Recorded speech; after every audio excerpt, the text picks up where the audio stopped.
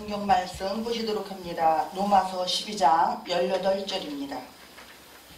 성경 말씀 로마서 12장 18절 제가 봉독합니다. 할 수 있거든 너희로서는 모든 사람과 더불어 한복하라. 아멘. 자, 우리가 말씀을 드릴 텐데요. 어, 우리 이 시간 우리 귀한 어, 목사님 오셔서 우리에게 하나님의 말씀을 대언하도록 하실 텐데요. 어, 우리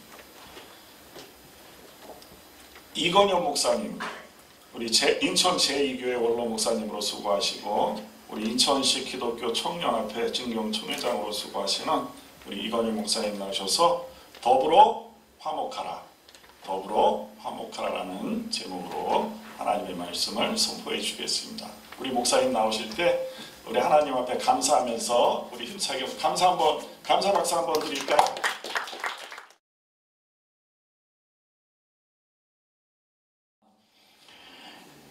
아버지 하나님의 은혜와 평강이 당신에게 임하시기를 바랍니다. 하는 마음으로 샬롬으로 인사하십니다. 우리 한번 샬롬으로 인사해 보겠습니다.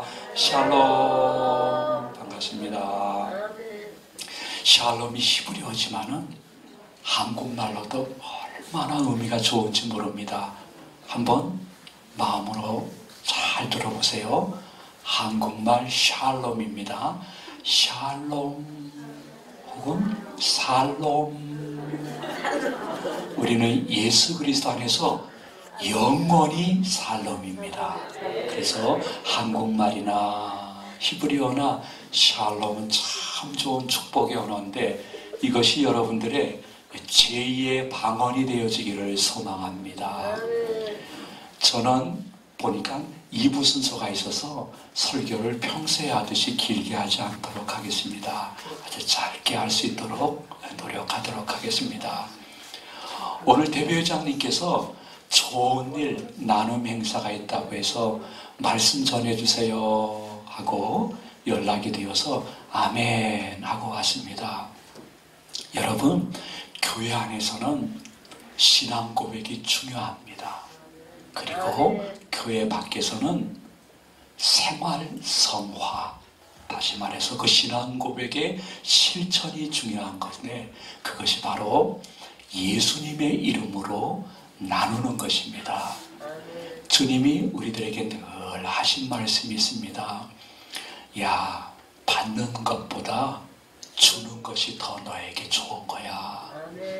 움켜쥐면 어느새 다 빠져나가고 나누면 최소가 30배 그리고 최대가 100배로 현세와 내세에서 너와 네 자손들에게 임할 것이라고 언약을 하신 줄로 믿으시기 바랍니다. 그 나눈다는 것은 제일 먼저는 무조건 복음이죠. 오직 더욱 결국 절대 예수님 외에는 구원주가 없는 줄로 믿습니다. 나는 먼저 천국 가게 되었으니 당신들도 예수님 믿고 부활을 믿어 꼭 천국 가시기를 바랍니다.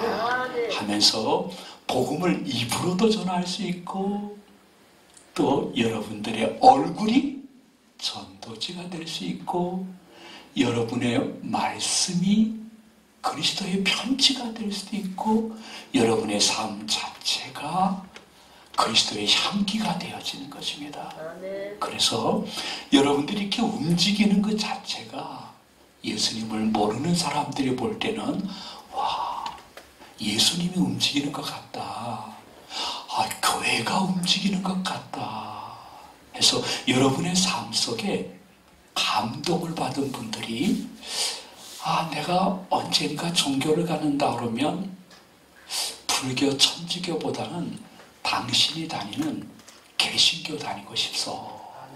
그리고 어떤 때는 여러분들 오랫동안 곁에서 삶을 지켜봤던 분이 당신이 다니는 교회에 나도 한번 나가보면 안 되겠습니까?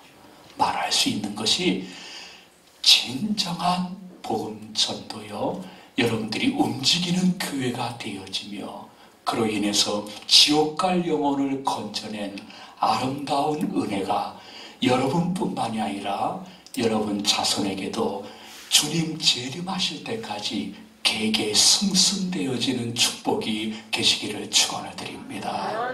무조건 우리는 첫 번째는 복음을 나누기 위해서 살아가는 사람들입니다.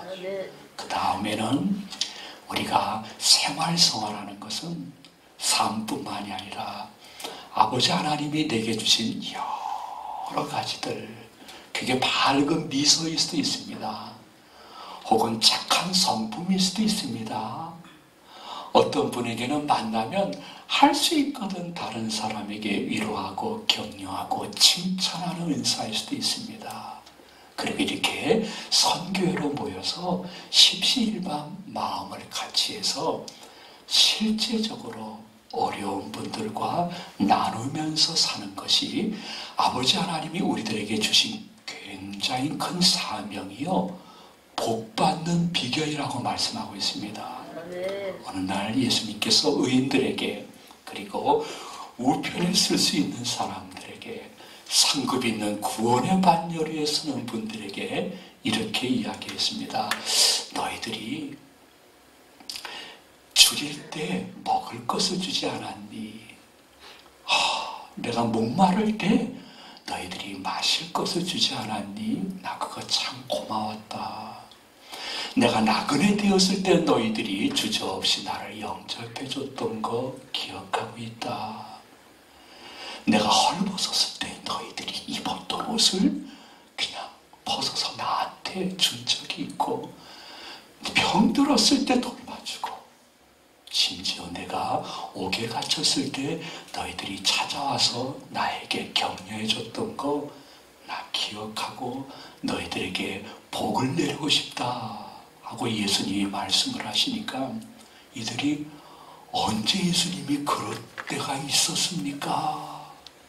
아니 예수님이 하신 말씀 중에 너희 중에 지극히 작은 자들 중에 한 사람에게 한 것이 곧 나에게 한 것이라.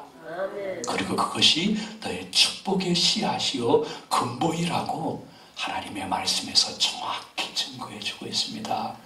여기서 회원 여러분들이 마음속에 기억해야 될 것은 지극히 작은 자도 작은 자인데 예수님은 그 중에 한 사람에게 네가 혹은 미소나 격려나 칭찬이나 위로나 혹은 예수의 심정으로 찾아가서 꼭 한번 기도해 주거나 쌀 한 가만이라도 나누어 주는 것을 사람에게 한 것으로 난 보지 않겠다.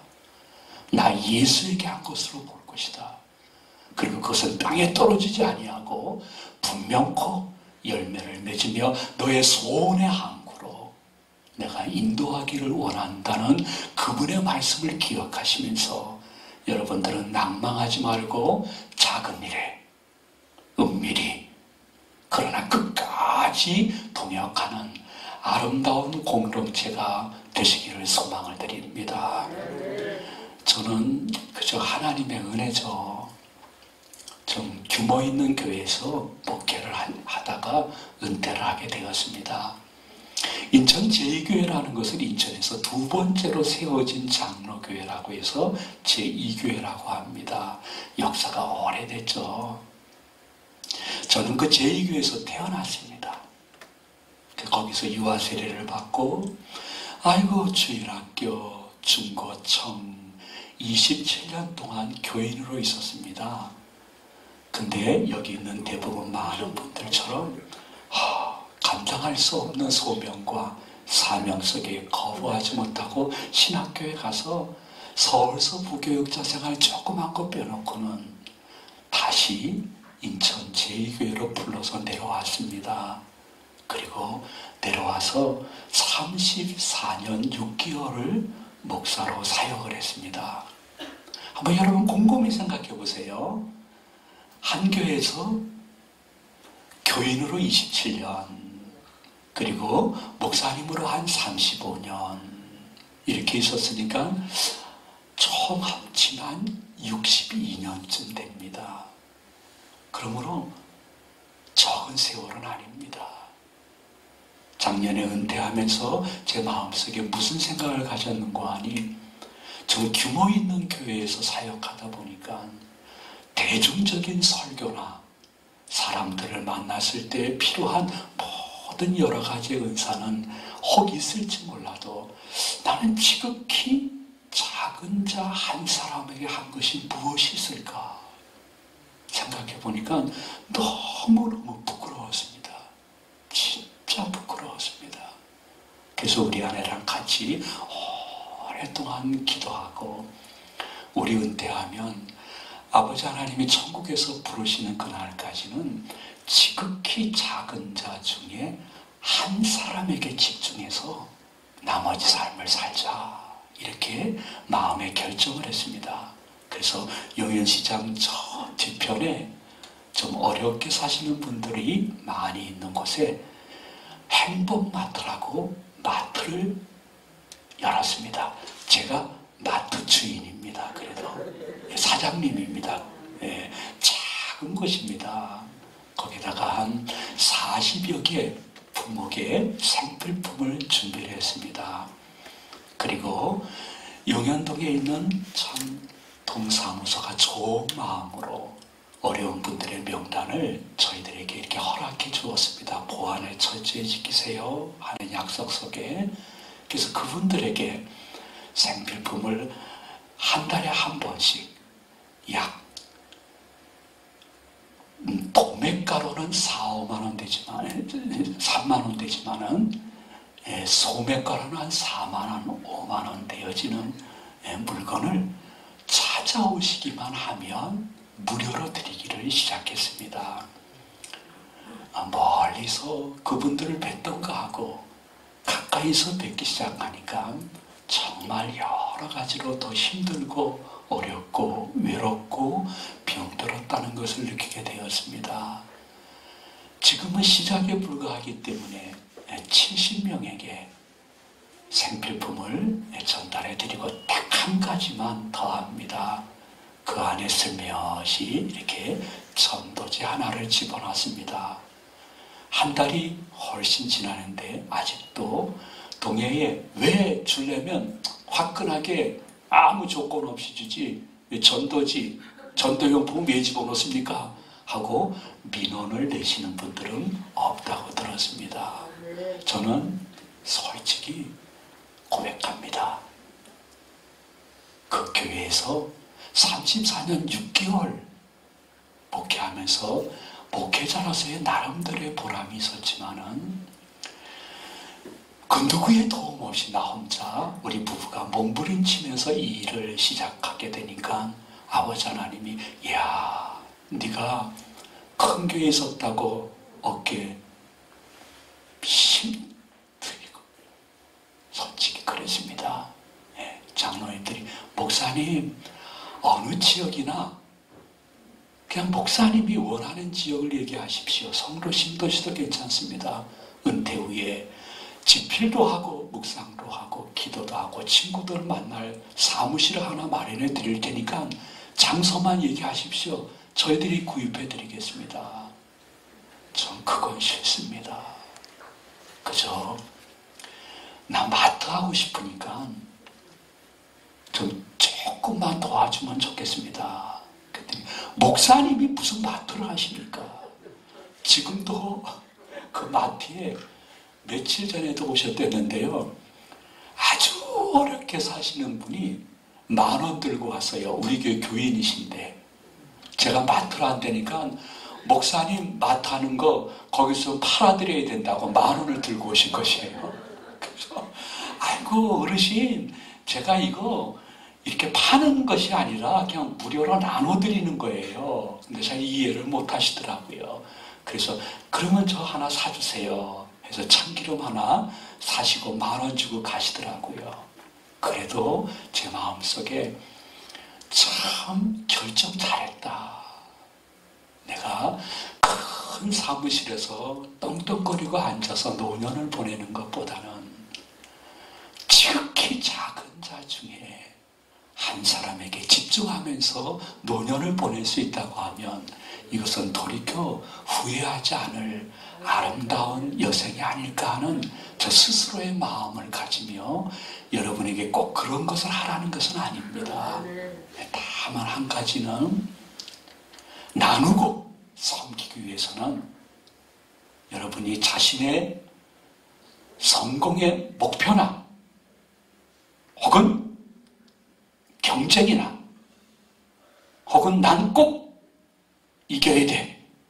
하는 자부심조차도 없이 진정한 나눔은 마음에서 시작돼야 되는데 그것은 나눔은 세상의 나눔은 내가 이만큼 가졌으니까 너희도 좀 가져라 하는 것이 세상에 나온 예수님의 나눔은 그것이 아니라 동등한 입장에서 혹은 동등한 입장을 떠나서 도리어 지극히 작은 자 한 분이 그분들도 나름대로의 자존심이나 성장하는 과정 속에 받았던 상처가 치유되지 않아서 너무 격하게 반응하고 돌발적인 행동을 한다 할지라도 내가 일부러 져야지.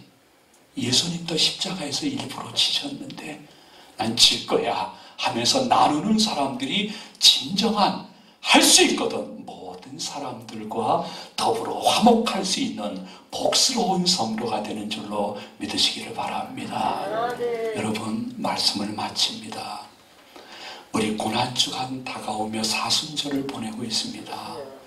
여러분들이 너무 잘 아시기 때문에 길게 말씀을 드리지는 않겠습니다. 예수님은요, 십자가에서 자신을 쳐 죽이는 수많은 사람들을 천군 천사를 동원해서 초 자연적인 방법으로 한순간 다 죽일 수 있는 권능이 있는 분이 누구냐? 하나님의 아들 예수님이셨습니다. 열두 영이나 더 되는 천사를 보낼 수 있는 능력이 있었다고 성경은 말씀하고 있습니다.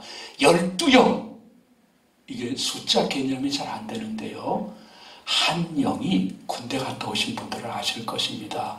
일개 군단을 이야기할 때 한 영이라고 합니다.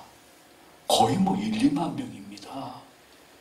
열두 영이라는 것은 수십만 명에 달하는 천군 천사를 예수님이 말씀 한마디를 동원해서 자기를 십자가에서 죽이려고 하는 대제사장 사두개인 바리새인 로마 병정들 돈 몇 푼 받고 예수 죽여라 예수 죽여라 소리치는 그 수많은 군중들을 한순간에 다 죽여버리고 십자가를 거부하고 십자가 밑으로 내려와서 열한 제자를 개동하고 예루살렘 중앙거리를 봐라 내가 하나님의 아들이 아니냐 하면서 승전 행진할 수 있는 능력이 계신 분이 예수님이셨습니다. 예수님이 그렇게 하셨을까? 아닙니다. 예수님은 십자가상에서 넉넉히 그렇게 개우승할 수 있었는데 화목과 하나됨을 위하여 일부러 개우패를 당하신 것입니다. 그것이 십자가에서의 대석에 죽임당한 십자가에 대한 정의가 엄청나게 많지만은 한마디로 혹 요약한다 하면 넉넉히 개우승할 수 있는 예수님이 화목과 일치를 위해서 일부러 개업에 당하신 것입니다. 그것을 아버지 하나님이 슬로우 비디오 보듯이 자세히 보신 후에 너무너무 영광을 받으시면서 3일 만에 사망 권세, 죄악 권세, 빌라도의 권세, 지옥 권세에서 예수 그리스도를 부활시킴으로 말미암아 우리도 영생을 바라볼 수 있는 성별된 사람으로 만들어 주신 줄로 믿으시기를 바랍니다. 아무것도 하지 아니하면 아무 일도 않습니다. 지금 인천에 수많은 모임이 있지만은 아마도 성령님이 이곳에서 드리는 모임을 보시며 제일 크게 영광을 받으실 줄로 믿으시기 바랍니다. 그것은 여러분들이 할 수 있거든.